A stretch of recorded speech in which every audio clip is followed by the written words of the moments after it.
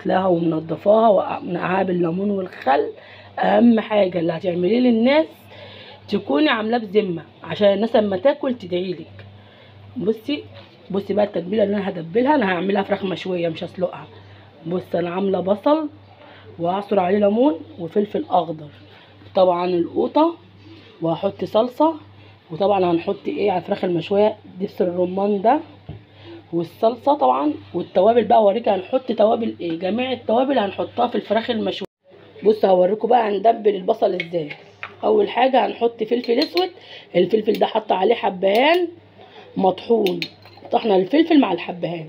تحطي معلقتين كده كبار عشان تخلي الفراخ المشوية ريحتها حلوة. تمام؟ والبهارات. معلقة بهارات كده كبيرة عليهم برضو. تمام؟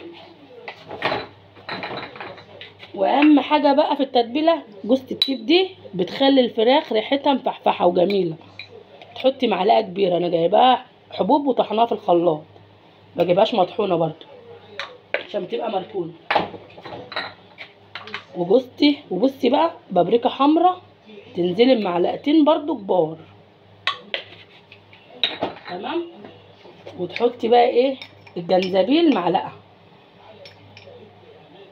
معلقة كبيرة حلوة كده. بصي والقرفة طبعا.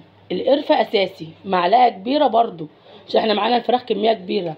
كتري التتبيلة فيها. تمام؟ وتنزلي بقى بالصلصة بس في القوطة بقى. بصي القوطة اهي. تنزلي بقى إيه في القوطة كده بالصلصة. خدي بالك أنا معايا كيس لسه وهكمل. ثواني هفتحها. بصي وهنكمل برضو صلصة تاني عشان الصلصة تحمر. الفراخ. تنزلي بقى عليها دبس الرمان ده. تحطي شوية حلوين كده.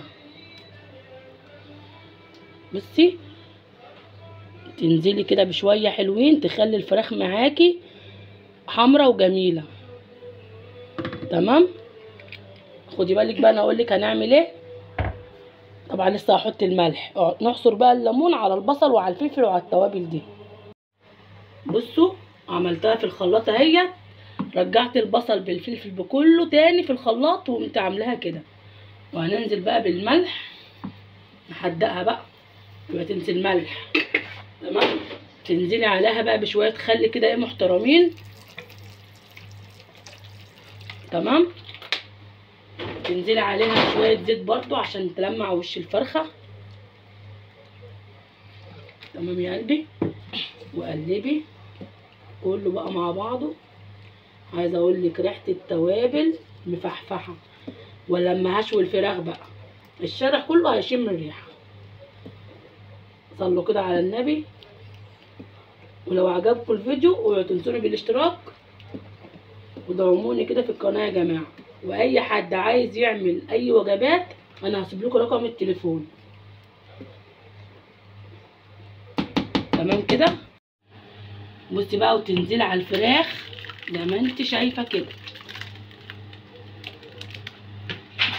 طبعا مش هتسيبها كده على الوش بس هتفضلي بقى إيه تشربي كده الفراخ الصلصة دي. ما تسيبيش فرخة فيها وفرخة ما فيهاش افضلي قلبي الفرخة وتسيبيها بقى. إحنا هنشويها تحت السخون هنسيبها إيه تاكل في التتبيلة بتاعتها.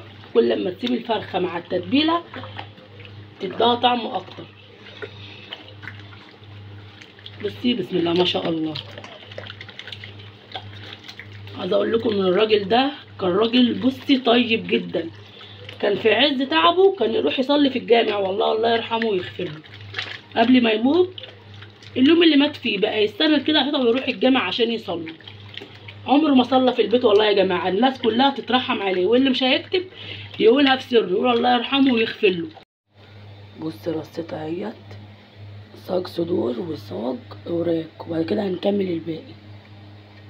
هندخل الفرن بقى. بصوا بقى أنا طلعت اول صاج. بصوا طلعت واحد. لسه الباقي طبعا ما تعملش قوي. لسه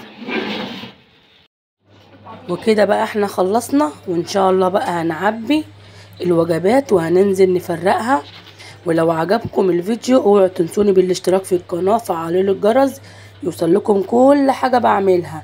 وأي حد عايز يعمل وجبات صدقة أي حاجة يبعتلي على المنتدى وأنا هتواصل معاه.